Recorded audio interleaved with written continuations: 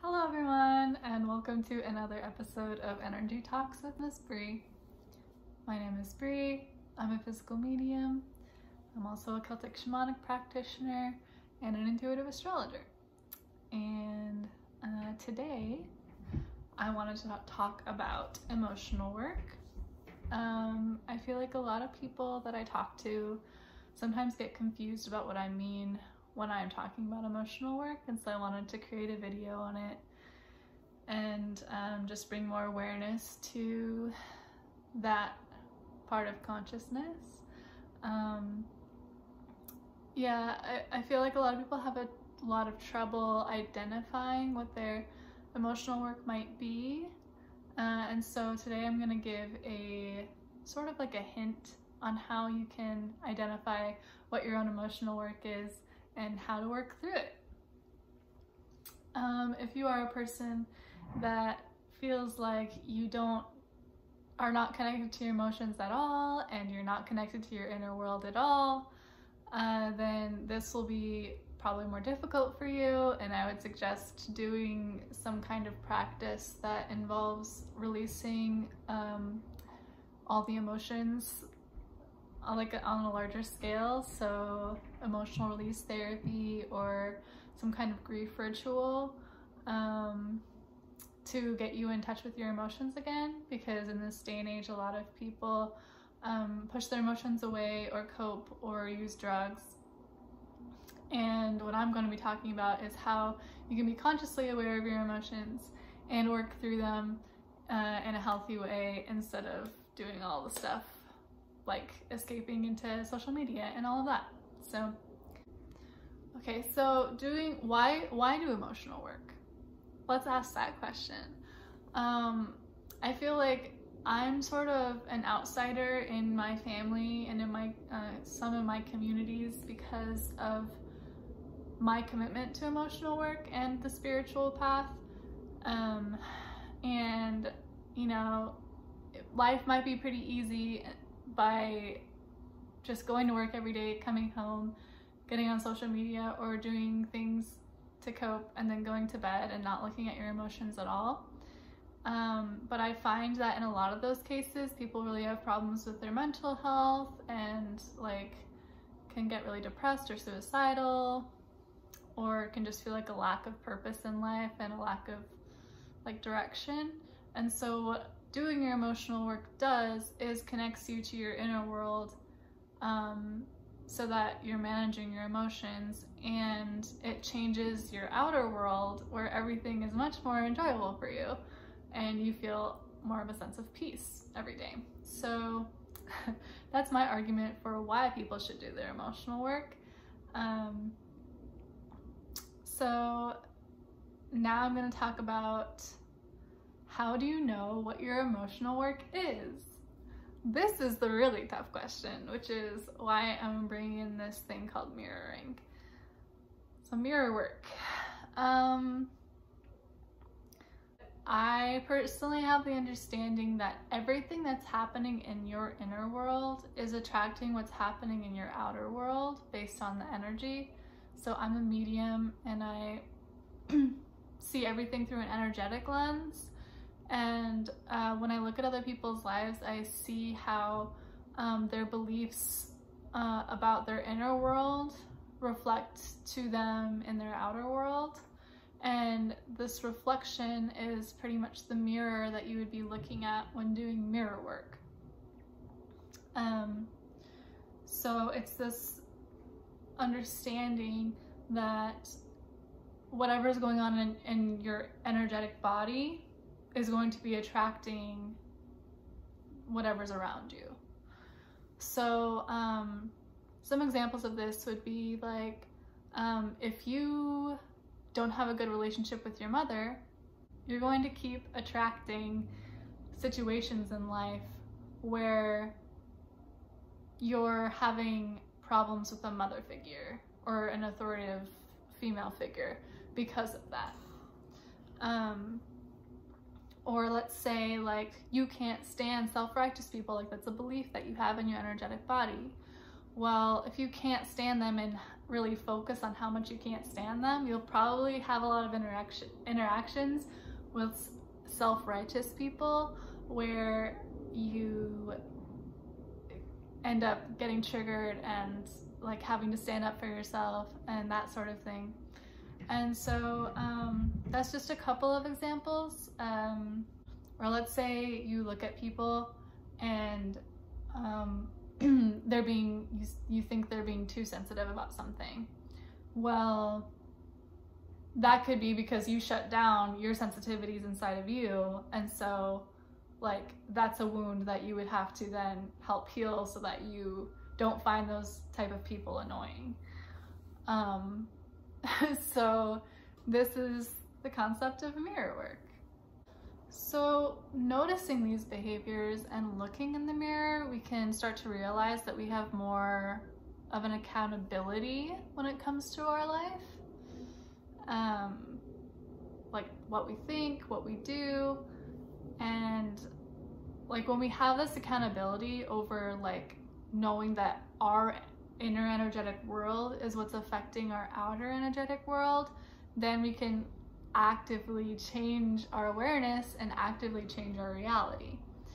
And I know there's a lot of people out there that kind of see this as woo woo, like, you know, they've watched The Secret or they've watched these things that, yeah, are like very like spiritual. Um, where it's like, oh, well, that's just, it's just magic. Like you're just throwing things out and then it comes back to you. Well, it's not exactly magic. Like it's sort of science. Um, your body, your inner body, your light body is energy. And when you create a thought with that energetic body and you're sending it out, like you're creating your reality. Um, and so while I know that this is my personal experience and nobody can see things from the same point of view that I see them, um, I just want to share my experience of when I look at other people and their light bodies and what they're doing, that's what I see, um, is their energy is affecting the energy around them. So I'm gonna share my own story with this uh, because I feel like it'll be kind of an insight to how to do mirror work. Um, I've done a lot of mirror work in my life. I've, I'm someone that's had a lot of self-awareness since I was a child. Um, and so this has come a bit more naturally to me. Like I was born a Pisces. So, you know, there's different things that we're more naturally drawn to, to like understand about the world. So this is um, been something that's yeah more natural to my awareness than maybe to other people, which is why I'm sharing about it because it means a lot to me. Um, so a lot of my lessons, my soul lessons in life have had to do with standing in my power. And so I've had a lot of, I've attracted a lot of situations where I had to stand up for myself. Um, and at each of those moments, because this is my soul growth and my emotional work, um, when I didn't stand up for myself, um, I became the victim. And so then I had this victim story throughout my life like, well, look at this thing that happened to me. I can't do this because this happened to me. And it just got deeper and deeper and deeper until I realized that was the problem and I changed it. I like had to change my awareness that like the reason that I was the victim was because my energy had the belief that I was the victim, that all these things had happened to me. Um, so when I changed my awareness that I stand in my power and I like tell people to stop and I have boundaries, um, then it all started to change for me. Um, so that's one. Um, another is um, like for me, it's been like my relationship with authoritative males. So they've been absent in my life, and so throughout my life, I've only had a lot of women um, present in my life. And so, um, for me, I've had to face the fact that, like, whenever I looked at a male, I was scared. Or whenever I was engaged with talking to men, I was scared, like I couldn't trust them because they aren't in my life. But that was kind of relating to my own inner authority, my own inner masculine of like, well, like, because I have this relationship with authority uh, on the outside, I didn't have a relationship to my own sense of authority on the inside.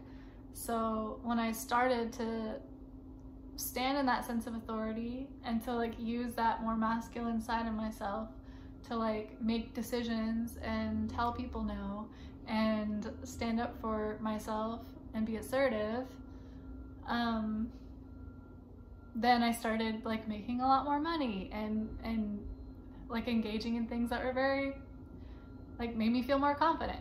And so yeah, that is kind of an example of what mirror work is in my life. The more that you look at your part in how you're living your life, um, the more you're able to make conscious changes that uh, bring in the energy that you're like choosing for yourself in this lifetime, um, or your dharma or your destiny, so to speak.